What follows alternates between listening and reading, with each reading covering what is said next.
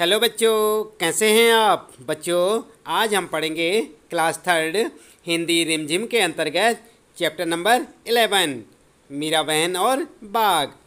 तो बच्चों, आप ध्यान दें, सबसे पहले आइए, पढ़ लेते हैं पाठ। इसके बाद हम आपको बताएँगे इस पाठ से संबंधित प्रश्नों के उत्तर भी।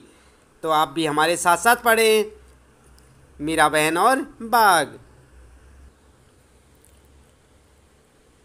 तो बच्चों, आप देख रहे हैं ना यहाँ पर? यह है आपका चैप्टर नंबर इलेवन, मीरा बहन और बाघ। मीरा बहन का जन्म इंग्लैंड में हुआ था। गांधी जी के विचारों का उन पर इतना असर हुआ कि वे अपना घर और अपने माता पिता को छोड़कर भारत आ गईं और गांधी जी के साथ काम करने लगी। आप देख रहे हैं ना बच्चों यहाँ पर? आज़ादी के पाँच साल बाद उन्होंने उत्तर प्रदेश के एक पहाड़ी गाँव, गेवली में गोपाल आश्रम की स्थापना की। इस आश्रम में मीरा बहन का बहुत सारा समय पालतू पशुओं की देखभाल में बीतता था। लेकिन गेवली गाँव के आसपास के जंगलों में बाघ जैसे खतरनाक जानवर भी रहते थे।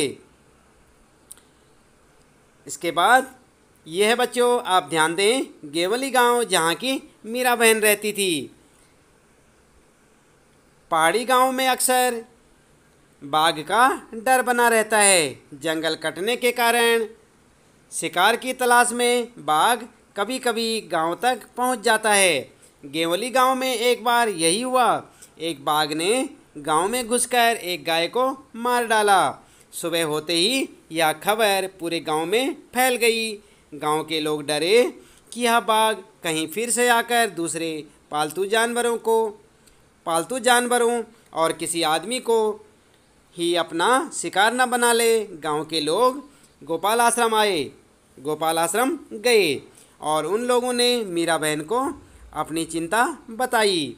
गाँव के लोगों ने अंत में तय किया कि बाघ को कैद कर लिया जाए, उसे कैद करने के लिए उन्होंने एक पिंजरा बनाया। पिंजरे के अंदर एक बकरी बांधी। योजना यह थी कि बकरी का मिमियाना सुनकर बाघ पिंजरे की तरफ़ आएगा। पिंजरे का दरवाज़ा इस प्रकार खुला हुआ। बनाया गया कि बाघ के अंदर घुसते ही वह दरवाज़ा झटके से बंद हो जाए। शाम होने तक पिंजरे को ऐसी जगह पर रख दिया गया जहाँ बाघ अक्सर दिखाई देता था। यह जगह मीरा बहन के गोपाल आश्रम से ज़्यादा दूर नहीं थी। रात बीती, सुबह की रोशनी होते ही लोग पिंजरा देखने निकल पड़े। उन्होंने दूर से देखा कि पिंजरे का दरवाज़ा बंद है। वे यह सोचकर बहुत खुश हुए कि बाघ ज़रूर पिंजरे में फंस गया होगा। लेकिन जब वे पिंजरे के पास पहुँचे तो क्या देखते हैं? पिंजरे में बाघ नहीं था। लोग चकित थे बाग के अंदर किए, अंदर गए बिना पिंजरा कैसे बंद हो गया? लोग मीरा बहन के पास पहुँचे। लोगों ने सोचा कि गोपाल आश्रम के, गोपाल आश्रम पास ही, पास में ही था। इसलिए शायद मीरा बहन को मालूम हो कि रात में क्या हुआ। पूछने पर मीरा बहन बोली, देखो भाई, मुझे नींद नहीं आ रही थी। मैं सोचती रही कि आखिर बाघ को धोखा देकर हम क्यों फंसाएँ? इसलिए मैं गई और पिंजरे का दरवाज़ा बंद कराई। तो बच्चों, यहाँ पर देखा आपने मीरा बहन का व्यवहार कैसे था? उसने क्या सोचा कि बाघ को धोखा न दिया जाए और इसलिए वह पिंजरे का दरवाज़ा खुद ही बंद करके आ गई थी। तो आइए, यहाँ पर जो है, इस पाठ से संबंधित कुछ प्रश्न देख लेते हैं। उम्मीद है कि आपको इस पाठ को पढ़ के बड़ा आनंद आया होगा, इस कहानी से आपको बहुत कुछ सीखने को मिला होगा। चलिए, देख लेते हैं यहाँ पर इस पाठ से संबंधित प्रश्नों के उत्तर। तो आप देख रहे हैं यहाँ पर पहला प्रश्न ये है आपका, कहानी से कहानी में बाघ को खतरनाक जानवर बताया गया है, नीचे दी गई सूची में सबसे खतरनाक चीज़ तुम्हारी समझ में क्या है और क्यों? तो आप देख सकते हैं यहाँ पर बच्चों, चाकू, बिजली, टूटा हुआ कांच, आग। तो इनमें से आपने उत्तर लिखना है। आइए, हम आपको बताते हैं इस प्रश्न का उत्तर। तो बच्चों, आप ध्यान दें, हम इस पाठ से संबंधित सारे प्रश्नों के उत्तर आपको यहाँ पर दिखाने वाले हैं। आप इन्हें अपनी नोटबुक में भी लिख सकते हैं। और जैसे कि हमने आपको बताया था कि कहानी का, कहानी से यहाँ पर पहला प्रश्न है और हम इसका इसका आपको यहाँ पर उत्तर बताने वाले हैं। आइए, एक बार फिर से पढ़ लेते हैं प्रश्न को। कहानी में बाघ को खतरनाक जानवर बताया गया है। नीचे दी गई सूची में सबसे खतरनाक चीज़ तुम्हारी समझ में क्या है और क्यों? जैसे कि आप देख रहे हैं, यहाँ पर चाकू, बिजली, टूटा हुआ कांच या आग। इनमें सबसे खतरनाक कौन सा है? आप उत्तर लिखेंगे, इस सूची में सबसे खतरनाक चीज़ आग है, क्योंकि यदि घर में आग लग जाए तो सब कुछ जलकर राख हो जाता है। यहाँ तक कि मनुष्य की जान भी जा सकती है। तो बच्चों, इस प्रकार से आप यहाँ पर से देख के पहले प्रश्न का उत्तर आप अपनी नोटबुक में लिख सकते हैं। इसके बाद ध्यान दें आप, ये है आपका दूसरा प्रश्न। आप देख रहे हैं यहाँ पर दूसरा प्रश्न? तो दूसरा प्रश्न है बच्चों, मीरा बहन की बात सुनकर गाँव के लोगों को निराशा हुई। उन्होंने मीरा बहन से क्या कहा होगा सोचकर गाँव के लोगों की बातें लिखो। तो आप ध्यान दें, आप क्या लिखेंगे? एक ग्रामीण ने उत्तर में लिखेंगे आप, एक ग्रामीण ने मीरा बहन से कहा होगा कि आपने यह अच्छा नहीं किया। बाघ कभी भी आकर आदमी को खा सकता है, आपके जानवरों को भी मार सकता है। दूसरे ग्रामीण ने कहा होगा कि यदि गाँव के किसी आदमी को बाघ ने अपना शिकार बना लिया तो आप स्वयं उसकी जिम्मेदार होंगी। इस प्रकार से ही तो कहा होगा ना बच्चों, गाँव वालों ने। यहाँ पर आप ध्यान दें, यहाँ पर लिखेंगे आप, कहा यहाँ पर क्या लिखेंगे आप? कहा। यहाँ पर आप खा ना लिखें, यहाँ पर लिखेंगे कहा। ध्यान दें बच्चों। इसके बाद अगला प्रश्न है यहाँ पर, कहाँ से खतरनाक है या नहीं? यहाँ से आप अगला प्रश्न का उत्तर देखें। यहाँ पर है, प्रश्न है पहले, गेवली गाँव के आसपास के जंगलों में बाघ जैसे खतरनाक जानवर भी रहते थे। तुम्हारे हिसाब से नीचे लिखे जंतुओं में से कौन कौन खतरनाक हो सकता है? तो आप देखें यहाँ पर कौन कौन खतरनाक हो सकता है। देख रहे हैं ना आप यहाँ पर जानवरों के नाम भैंस, चीता, यहाँ पर आप चीता लिखेंगे। चीता, बकरी, कुत्ता, बिल्ली, चूहा, सांप, बिच्छू, कछुआ, केंचुआ, तिलचट्टा, कबूतर, भालू। तो इनमें से बच्चों, खतरनाक कौन कौन होता है? चीता होता है ना खतरनाक, कुत्ता, सांप, बिच्छू और भालू। इस प्रकार से आप अपना उत्तर अपनी नोटबुक में लिखें। इसके बाद दूसरा प्रश्न है आपके लिए यहाँ पर। जिनके नाम पर तुमने गोला लगाया, वे कब खतरनाक हो सकते हैं? तो किन के नाम पर लगाया था आपने गोला? इनके लगाया था ना? तो ये कब खतरनाक हो सकते हैं बच्चों? उत्तर लिखेंगे आप, चीता जब जंगल से भागकर शहर में आए और आदमियों को अपना शिकार बना ले, तब खतरनाक हो सकता है ना? कुत्ता जब पागल हो जाए और काट ले, तब खतरनाक होता है। सांप सांप जो है छेड़ने पर खतरनाक हो सकता है, बिच्छू बिच्छू के डंक के दर्द से जान जा सकती है। और भालू, जब जंगल से भागकर आबादी में आकर लोगों पर धावा बोल दे, तब खतरनाक हो सकता है। तो इस प्रकार से आप इस प्रश्न का उत्तर लिख सकते हैं। इसके बाद अगला प्रश्न है आपके लिए पिंजड़ा यहाँ पर आप ध्यान दें, अगला प्रश्न है पिंजड़ा यहाँ से लिखेंगे आप तो प्रश्न क्या है आपके लिए? चूहा पकड़ने का पिंजड़ा देखकर बताओ। कि वह अपने आप कैसे बंद हो जाता है और एक बार कैद हो जाने के बाद चूहा उससे बाहर क्यों नहीं आ पाता? तो यहाँ पर आप बच्चों, छोटे की मात्रा रखें और लिखें की। की ना लिखें, की लिखें। और आपने इस प्रश्न का उत्तर क्या लिखना है?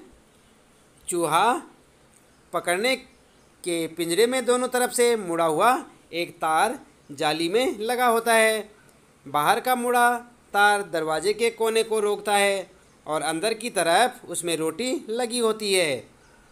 जैसे ही चूहा अंदर घुसकर रोटी खींचता है, वैसे ही बाहर का कुंडा निकल जाता है और झटके से दरवाज़ा बंद हो जाता है। वह दरवाज़ा फिर नहीं खुलता, जिस कारण चूहा बाहर नहीं आ सकता।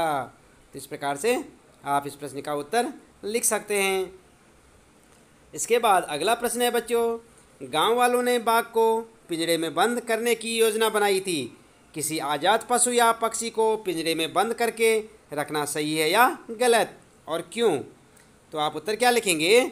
किसी आज़ाद पशु या पक्षी को पिंजरे में बंद करके रखना गलत है या उसके प्रति अन्याय है? स्वतंत्रता सबको प्यारी होती है। उसका प्राकृतिक स्वभाव, आदतें खाना पीना चलना, फिरना, उड़ना आदि प्रभावित हो जाते हैं। इस प्रकार से आप उत्तर लिखेंगे। अगला प्रश्न है बच्चों क्यों, कैसे? आप देख रहे हैं यहाँ पर क्यों, कैसे? तो प्रश्न आपके लिए, अपने मन में सोच कर लिखो, ऐसा कैसे किया होगा? जैसे कि, बाकी खबर पूरे गाँव में फैल गई तो कैसे फैली होगी? उत्तर लिखेंगे आप, गाँव छोटे होते हैं, उनकी आबादी बहुत कम होती है। एक व्यक्ति से दूसरे व्यक्ति तक खबर पहुँचने में देर नहीं लगती। इस प्रकार पूरे गाँव में खबर फैल गई। और अगला प्रश्न है लोग मीरा बहन के पास पहुँचे। क्यों पहुँचे? तो उत्तर होगा, सब लोग मीरा बहन को अपनी समस्या से अवगत कराना चाहते थे। उन्हें विश्वास था कि वे इसका कोई न कोई उपाय ज़रूर निकालेंगी। अगला है प्रश्न आपके लिए, पिंजरा बिना बाघ के बंद हो गया, कैसे हुआ? उत्तर लिखेंगे आप, मीरा बहन ने सोचकर कि बाप को धोखा देकर क्यों फंसाया जाए? यहाँ पर गलत हो रहा है ना बच्चों? कि बाघ होगा यहाँ पर बाघ। यहाँ पर क्या लिखेंगे आप? बाघ। यहाँ पर बाप ना लिखें, यहाँ पर लिखेंगे आप बाघ। क्या लिखेंगे? बाघ। तो मीरा बहन ने सोचकर कि बाघ को धोखा देकर क्यों फंसाया जाए, इसलिए उन्होंने पिंजरे का दरवाज़ा बंद कर दिया। यहाँ पर लिखेंगे का। पिंजरे का दरवाज़ा बंद कर दिया। इसलिए उन्होंने पिंजरे का दरवाज़ा बंद कर दिया। यहाँ पर आप लिखेंगे बच्चों का। पिंजरे का दरवाज़ा बंद कर दिया। इस प्रकार से आप उत्तर लिखेंगे। और इसके बाद है, ये है आपके लिए अगला प्रश्न, बकरी कहे कहानी। तो यहाँ पर प्रश्न आप देख रहे हैं ना, सोचो, अगर यह बकरी सुनाती तो क्या क्या बताती? उसकी कहानी मज़ेदार होती ना? तो उत्तर में लिखेंगे, अगर बकरी यह कहानी बताती तो निश्चय ही कहानी मज़ेदार होती। आप उत्तर इस प्रकार से अपनी नोटबुक में लिखें। अगला प्रश्न है बच्चों, बकरी अपनी कहानी में क्या क्या बताती? यहाँ पर देख रहे ना आप दूसरा प्रश्न। तो आप लिखेंगे, उत्तर लिखेंगे, बकरी अपनी कहानी में कहती कि वह गाय के पास ही कोने में खूंटे से बंधी थी। मैंने बाघ को आते देखा, यह देख मैं तो डर के मारे थर थर काँपने लगी। मेरी आवाज़ बंद हो गई। मैंने देखा बाघ गाय की पीठ पर उछला और उसकी गर्दन खाने लगा। मैं बेहोश हो गई। जब होश आया तो बाघ वहाँ से जा चुका था। सुबह मरी गाय को देखने के लिए लोगों की भीड़ लग गई। लोग चिंतित दिखाई दे रहे थे। एक गाँव वाला कह रहा था कि आज तो उसने गाय मारी, कल को आदमी मारेगा। चलो मीरा बहन के पास चलते हैं। सब मीरा बहन के आश्रम में पहुँचे। बाघ को कैद करने के लिए कि पिंजरा बनाया गया करने के लिए यहाँ पर कुछ ना लिखें आप। यहाँ पर इसको काटें। बाघ को कैद करने के लिए पिंजरा बनवाया गया। पिंजरा ऐसा था कि बाघ के अंदर घुसते ही झटके से बंद हो जाता। गाँव वालों ने पिंजरे में मुझे बांधकर वहाँ रख दिया, जहाँ बाघ अक्सर जाया करता था। मैं मिमियाने लगी, मुझे बहुत डर लग रहा था। समझ में नहीं आ रहा था कि क्या करूँ। इतने में मीरा बहन वहाँ आई और उन्होंने पिंजरे का दरवाज़ा बंद कर दिया। मेरी जान में जान आई, मैं मन ही मन, उन्हें धन्यवाद दिया और मेरी जान बच गई। तो बच्चों, इस प्रकार से बकरी यदि कहानी सुनाएगी तो इस प्रकार से सुनाएगी। आप इसे अपनी नोटबुक में लिख लें। इसके बाद अगला प्रश्न आपके लिए, चलो पकड़ें। आप देख रहे हैं यहाँ पर, चलो पकड़ें। तो यहाँ पर आपके लिए प्रश्न होंगे बच्चों आप ध्यान दें, पहला प्रश्न है गाँव वालों ने बाघ को पकड़ने के लिए एक योजना बनाई थी। कक्कू के घर के घर में रोज़ बिल्ली आकर दूध पी जाती है। कक्कू की मदद करने के लिए कोई योजना बनाओ। तो आप उत्तर लिखेंगे, कक्कू की मदद और बिल्ली को पकड़ने के लिए हमें एक पिंजरा बनाना पड़ेगा। इस पिंजरे में कटोरी, दूध, कटोरी भरकर दूध रखेंगे। उस पिंजरे को ऐसा बनाया जाएगा कि बिल्ली के अंदर घुसते ही दरवाज़ा झटके से बंद हो जाए और बिल्ली पिंजरे से ना निकल पाए। तो इस प्रकार से आप इस प्रश्न का उत्तर लिख सकते हैं। अपनी नोटबुक में लिखें। और इसके बाद है बच्चों, अगले प्रश्न आपके लिए पाठ से आगे प्रश्न है। यह सभी चित्र किसी एक व्यक्ति से जुड़े हुए हैं। पता करो कौन? तो यहाँ पर आप देख रहे हैं ना, ये दिख रहे हैं ना आप, ये चित्र किससे जुड़ा हुआ है? गांधी जी से। इसी प्रकार से ये चित्र है, ये चित्र है। आप देख रहे हैं यहाँ पर कई प्रकार के चित्र हैं। और ये सब कहीं ना कहीं किसी न किसी के बारे में बताते हैं। आइए, देखें आप उत्तर में। उत्तर ऊपर दिए गए चित्र राष्ट्रपिता महात्मा गांधी से जुड़े हुए हैं। जुड़े हुए हैं ना बच्चों? ये है महात्मा गांधी का चरखा। तो यहाँ पर आप देख रहे हैं ना महात्मा गांधी जी की ऐनक। यहाँ पर उनके चप्पल, यानी खड़ाऊ, यहाँ पर महात्मा गांधी जी की घड़ी और यहाँ पर कुछ मूर्ति सी है जिनकी वो पूजा करते हैं। और यहाँ पर उनके हाथ का डंडा है, जिन्हें वो लेकर इधर उधर चलते थे। तो ये सारी जो है किससे जुड़े हुए हैं? महात्मा गांधी से। उत्तर लिखेंगे आप। ऊपर दिए गए चित्र महात्मा गांधी से जुड़े हुए हैं। इसके बाद अगला प्रश्न है बच्चों यहाँ पर, कौन, क्या है? तो यहाँ पर प्रश्न है आपके लिए। बाघ, गाय, बकरी, हाथी और हिरन जानवर हैं। नीचे लिखी हुई चीज़ें क्या हैं? खाली जगह में लिखो। तो आप ध्यान दें यहाँ पर। अगरतला, अल्मोड़ा, रायपुर कोची बड़ोदरा। ये सब क्या हैं बच्चों? उत्तर है आपके लिए यहाँ पर नगर। ये सब क्या हैं? नगर हैं। जलेबी, लड्डू, सुरपा, कलाकंद, पेड़ा, ये सब क्या हैं? ये सब मिठाइयाँ हैं। नर्मदा, कावेरी, सतलुज, ब्रह्मपुत्र, यमुना, ये सब क्या हैं बच्चों? नदियों के नाम हैं। और इसी प्रकार से बरगद, नारियल पीपल, चीड़, नीम, ये सब क्या हैं? पेड़ हैं।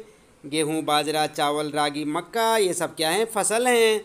कुर्ता, साड़ी, फिरन, लहंगा, कमीज, ये सब क्या हैं? वस्त्र हैं। तो इस प्रकार से बच्चों, इस प्रश्न के उत्तर आपने देखे यहाँ पर। ये हैं इस प्रश्न के उत्तर। ये है आपका प्रश्न। ये है आपका प्रश्न। आप देख रहे हैं यहाँ पर? ये है प्रश्न। और ये प्रश्न से संबंधित ये हैं इसके उत्तर। तो आप यहाँ से उत्तर लिख सकते हैं। साथ साथ उत्तर लिखे हुए ना पीछे। यहाँ से आप देखें। इसके बाद है, अगला प्रश्न आपके लिए। कोयल, कुकू, बकरी मैं मैं यहाँ पर देख रहे हैं ना आप कोयल, कुकू, बकरी मैं मैं तो प्रश्न है, जानवरों की बोलियाँ तो आपने या तुमने सुनी होंगी? कोयल की बोली को जैसे कूकना कहते हैं और बक, मक्खी की बोली को भिन भिनाना वैसे ही सब जानवरों की बोलियों के भी नाम हैं। जब मक्खियाँ इधर उधर घूमती हैं ना बच्चे तो उसे क्या बोलते हैं लोग? मक्खी भिन भिना रही है।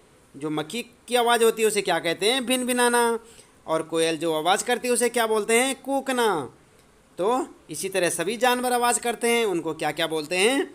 नीचे दिए गए खाने में एक तरह जानवरों के नाम हैं, दूसरी तरफ़ बोलियों के। ढूंढ निकालो कौन सी बोली किसकी है? तो यहाँ पर देखें ना आप, ये हैं जानवर और ये हैं बोलियाँ। जैसे भैंस तो यहाँ पर आपने ऐसे करके लाइनों पे मिलाना है। जो सही होगा, उसके साथ उसे आपने मैच करना है। तो भैंस क्या करती है? घोड़ा क्या करता है? हाथी क्या? बकरी क्या? शेर क्या? इन सबको क्या क्या बोलते हैं? तो इन सब के यहाँ पर जो है बोलियाँ लिखी हुई हैं। आपने एक के साथ दूसरे को मिलाना है। जो सही चीज़ इसके साथ मिल जाए, उसे ही आप सही लिखेंगे। चलिए उत्तर देख लेते हैं।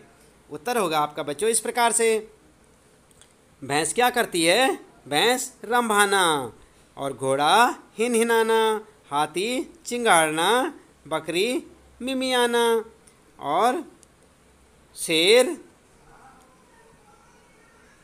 शेर का क्या होगा? दहाड़ना और गधा। यहाँ पर गाय का देखे पहले। गाय रंभाना, कुत्ते का भौंकना और आगे और भी हैं बच्चों। यहाँ पर जो है, गधा जो है, गधे का होगा। यहाँ पर देखें रेंगना। तो इस प्रकार से आप उत्तर लिखेंगे। आपके समझ में आ गया ना? कुत्ते का भौंकना, गाय का रंभाना और शेर का दहाड़ना। यहाँ देखें आप, इस प्रकार से मिलाएँगे आप, शेर का दहाड़ना। आप ध्यान से देखें किस प्रकार से। ये जो है ना यहाँ पर शेर वाला, यहाँ थोड़ा नीचे हो गया। बकरी का मिमी आना हाथी का चिंगाड़ना, घोड़े का हिन हिनाना इस प्रकार से आप उत्तर लिखेंगे। तो आई बात समझ में? सबके सब सब यहाँ पर जो है सही सही सबके साथ लिखे हुए हैं, केवल शेर वाला नीचे हो गया। अब इसके बाद उत्तर आप देखें यहाँ पर। एक प्रश्न यहाँ पर आपके लिए, ये भी प्रश्न है बच्चों, ध्यान दें, ठीक करो। यहाँ पर आप देख रहे हैं ना, ठीक करो। तो प्रश्न आपके लिए, हवाई जहाज़ आसमान उड़ रहा है। तुम्हें यह वाक्य कुछ अटपटा लग रहा है। इस वाक्य को फिर से पढ़ो। हवाई जहाज़, आसमान उड़ रहा है। कुछ लग रहा है ना बच्चों, कुछ वाक्य सही सा नहीं है ये, कुछ उठ पटांग सा लग रहा है। तो यहाँ पर क्या आना चाहिए था? यहाँ पर आप ध्यान दें, यहाँ पर आना चाहिए था। मैं, यहाँ पर ना हवाई जहाज़, यहाँ पर यहाँ पर नहीं, यहाँ पर आना चाहिए था, यहाँ पर। हवाई जहाज़, आसमान, में। अब सही लग रहा है ना बच्चों? हवाई जहाज़, आसमान, में उड़ रहा है। अब सही लग रहा है ना? तो इसी प्रकार से तुम्हें पहले ये अटपटा सा लग रहा था। अब क्या होगा इसका? सही क्या होगा? हवाई जहाज़ आसमान में उड़ रहा है। तो अब इसी प्रकार से कुछ वाक्य आपके लिए दिए हुए हैं। आप इन वाक्यों को ठीक से लिखेंगे। इनके बीच में कुछ ना कुछ आपको लिखना पड़ेगा।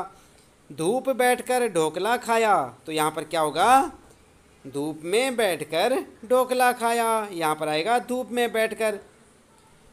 पुतुल काम करने, मना कर दिया तो यहाँ पर काम करने से, यहाँ पर लिखेंगे से, लता ने सब मूंगफली खिलाई तो यहाँ पर लता ने सबको मूंगफली खिलाई, तब सही हो गया ना? पहाड़ी गाँव में बाघ का डर बना रहता है। इस प्रकार से चलिए उत्तर देख लेते हैं। उत्तर होगा, धूप में बैठकर ढोकला खाया, पुतुल ने काम करने से मना कर दिया, लता ने सबको मूंगफली खिलाई। पहाड़ी गाँव में बाघ का डर बना रहा। तो इस प्रकार से इसका उत्तर लिख सकते हैं। तो बच्चों, अब वे सभी शब्द फिर से लिखो जिन्हें तुमने जोड़ा था। तो यहाँ पर देखिए आप क्या क्या जोड़ा था आपने? ये सारे शब्द यहाँ पर हैं। सबसे पहले मैं तो ये आ गया मैं आपका।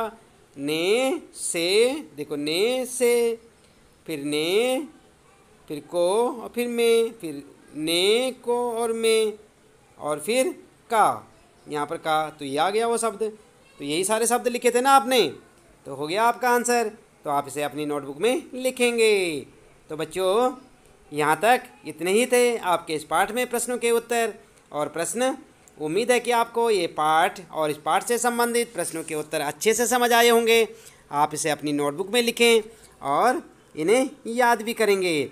तो बच्चों आप ध्यान दें, इसी प्रकार से कक्षा तीन, हिंदी के सभी पाठों को पढ़ने के लिए आप चैनल के नीचे जो सब्सक्राइब का बटन है, उसे दबा दें। चैनल को सब्सक्राइब कर दें और जो साथ में घंटी वाला बटन है, बेल आइकन, उसे भी दबा दें ताकि आपको जब भी हम नए पार्ट की वीडियो डालेंगे, आपको उसकी नोटिफिकेशन मिलती रहेगी।